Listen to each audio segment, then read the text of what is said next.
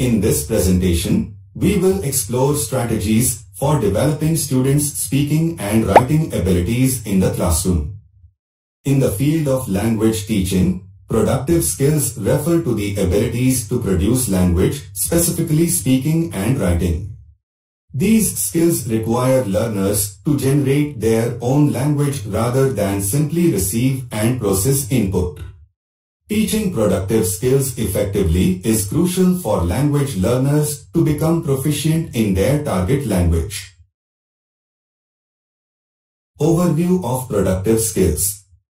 Basically, if you ask me what is productive skills, simply productive skills refer to language skills that involve producing language, such as speaking and writing.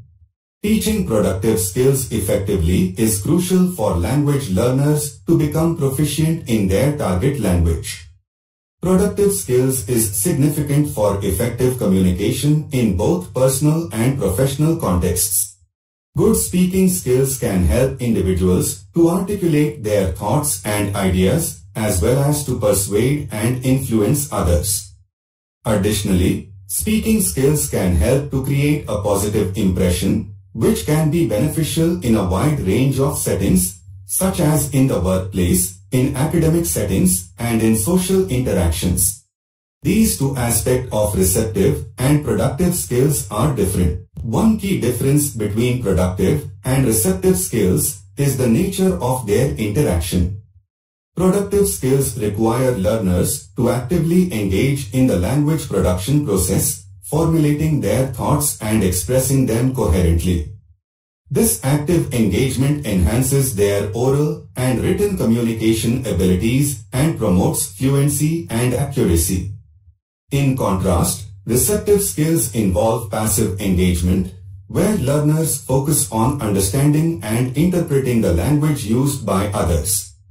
This passive engagement helps learners develop their listening and reading comprehension skills, allowing them to understand and analyze different forms of language input. Now we jump to pedagogical approaches for teaching speaking. Teaching speaking skills deals with the variation of using different techniques, activities, and methods inside the ELT classroom to develop speaking efficiency, productivity, using correct pronunciation, paralinguistic features and idea or expression the correct language structure. So in this regard, teaching speaking required different techniques or activities. If you give speaking tasks that simulate real-life communication scenarios, such as role plays or debates. For example, role play is an interactive activity that enables students to practice conversational skills. Teachers can assign a particular scenario or situation and ask students to act out specific roles. For instance, students can role-play job interviews or meetings scenarios to help them learn professional communication. Similarly, debating is an effective activity that helps students develop their speaking and critical thinking skills. Teachers can form teams and assign them a topic to debate, giving them time to prepare their arguments. Students can then present their arguments and respond to the opposing team's arguments, followed by a rebuttal round. The teacher can judge the debate based on the quality of arguments presented.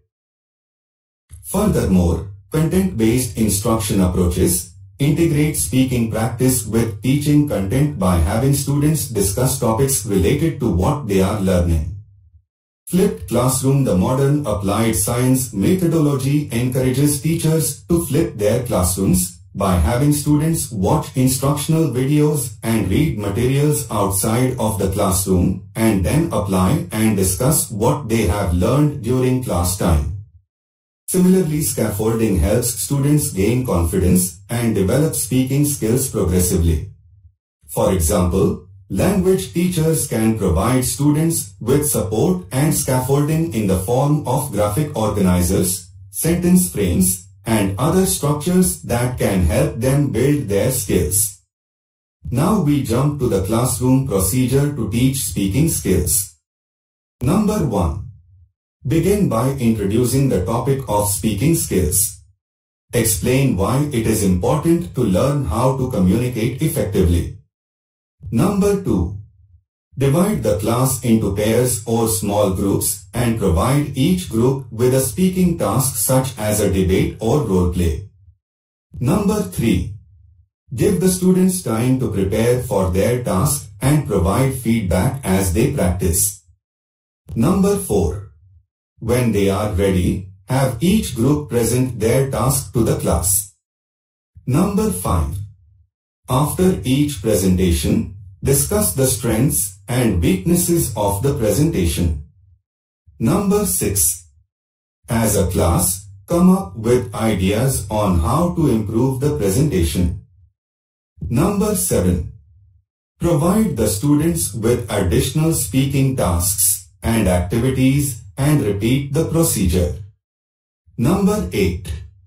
At the end of the lesson, provide a summary of what was discussed and learned. Now we jump pedagogical approaches for teaching writing. Engaging students in critical analysis and evaluation is essential in teaching writing. By encouraging students to think deeply about their topic, consider different perspectives and evaluate the strengths and weaknesses of their arguments, they can develop a more sophisticated approach to writing. Teachers can introduce critical reading exercises where students analyze and evaluate well-written pieces of writing, looking for patterns, rhetorical strategies, and effective use of evidence.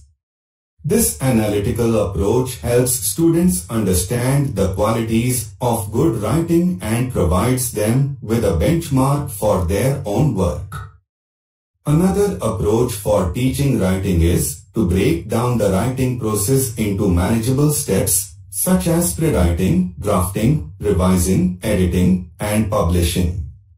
Each step should be clearly explained to students and they should be provided with ample practice opportunities to apply these steps in their writing. Moreover, organizing the writing process through the use of graphic organizers, outlining, or storyboarding can help students structure their ideas and create coherent pieces of writing.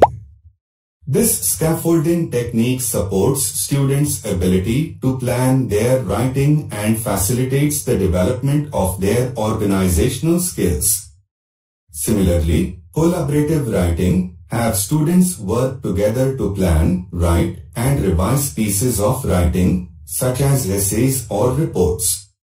Effective writing instruction involves teaching students how to incorporate research and evidence to support their arguments. Teachers can guide students in finding credible sources, evaluating the reliability of information, and referencing their sources accurately. Incorporating research assignments into writing tasks allows students to practice locating, synthesizing, and integrating information from various sources. By doing so, students gain not only an understanding of the topic they are writing about but also an appreciation for the value of evidence-based writing. Similarly, coherence and flow are crucial aspects of good writing.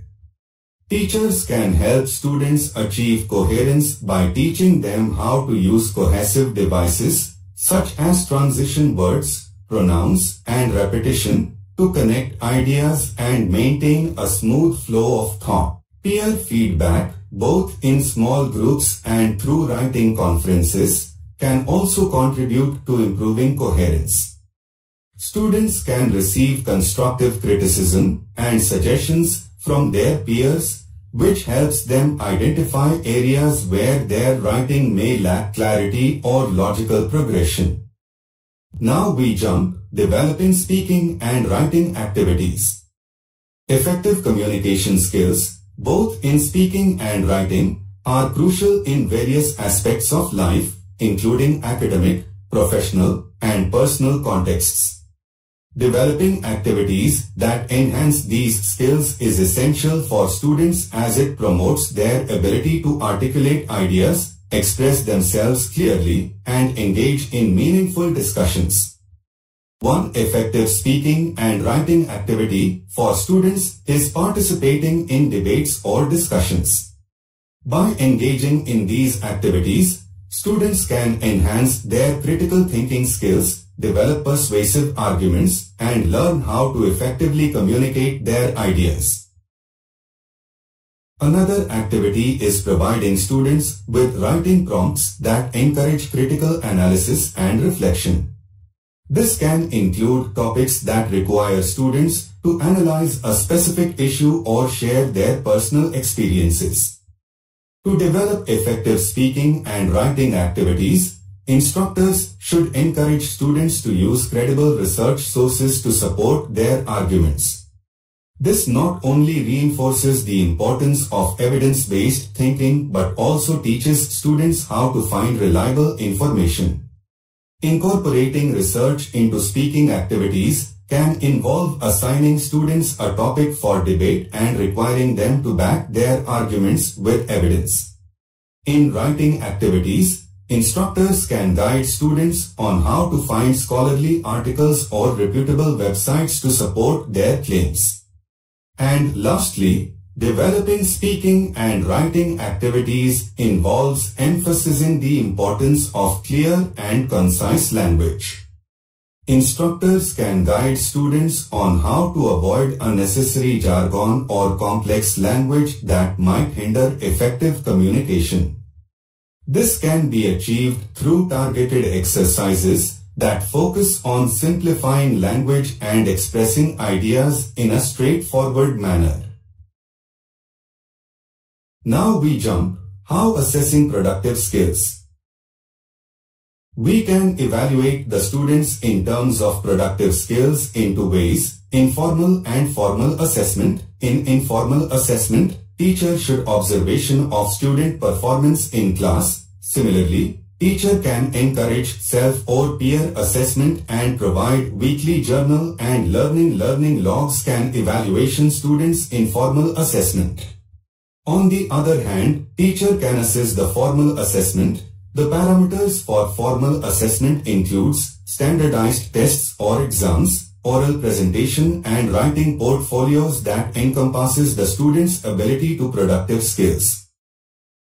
In conclusion, Developing speaking and writing activities is crucial for lower secondary and secondary as well as college or university students as it helps them enhance their communication skills, critical thinking abilities, and capacity to articulate ideas effectively.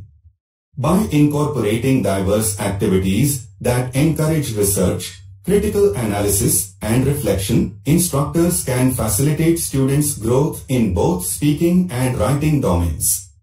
Ultimately, these activities contribute to students' overall academic and professional development, preparing them for success in their future endeavors.